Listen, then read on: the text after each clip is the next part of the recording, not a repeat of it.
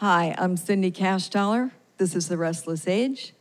We're coming to you from the Bearsville Theater in Woodstock, New York, in the heart of the Catskill Mountains. And uh, this is the title cut from my new album, Waltz for Abilene.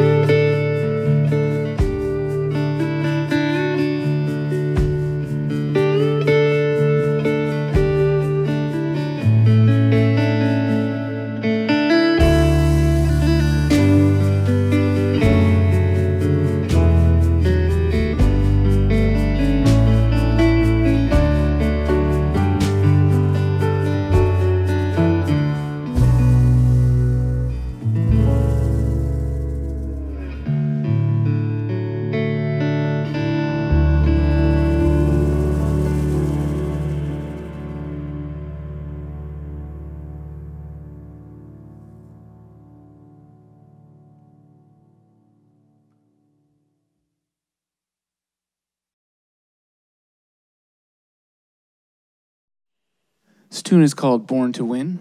It's by Woody Guthrie and Mike Merenda. We think it's a pretty good song for the times.